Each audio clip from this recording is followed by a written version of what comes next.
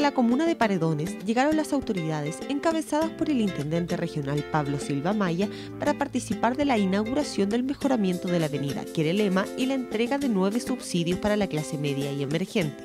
Inauguramos la calle con financiamiento ¿cierto?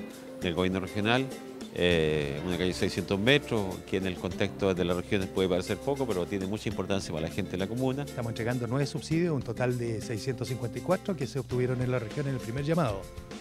Y estos son subsidios, los DS1, que es para familias que son capaces de hacer un ahorro mayor y pueden adquirir vivienda hasta 2000 UF. Estamos felices, contentos, felices. Mi hijo sobre todo está feliz que va a tener su casa su casa propia. Las obras de mejoramiento de la importante avenida de la comuna de Paredones consideraron una inversión de más de 260 millones de pesos. Estamos entregando hoy día una importante vía que apunta a la conectividad no solamente dentro de la comuna, sino que hacia los sectores rurales y que va a permitir también que el acceso al importante equipamiento que está en este sector como el cementerio pueda tener una mayor dignidad respecto de los cortejos fúnebres que normalmente se realizan.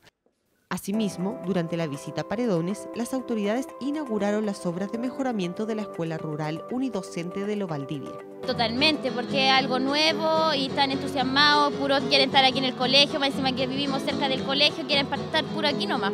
Inaugurando esta infraestructura en la Escuela de Lo Valdivia, aun cuando es una escuela de baja matrícula, pero los niños y niñas de este colegio tienen que tener los mismos derechos que los niños de escuelas grandes, tener espacios dignos, eh, habilitados para cada una de sus actividades. Esta inversión eh, viene justamente a potenciar y viene a reforzar todos los esfuerzos que está haciendo la, la, presidenta Michelle Bachelet para apoyarnos, ¿cierto? Y para potenciar la educación pública. Estamos en la Escuela de Valdivia, ¿cierto? Donde hubo un mejoramiento de la infraestructura con recursos del Ministerio de Educación, ¿no es cierto?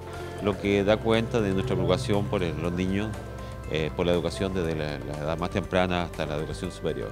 A través del aporte de 87 millones de pesos del Mineduc, se pudieron reponer las fajadas de agua y nuevos colectores para la canta. Además, como inversión complementaria para el establecimiento, se construirá un salón multiuso, un baño de discapacitados, una bodega para libros y un patio cubierto.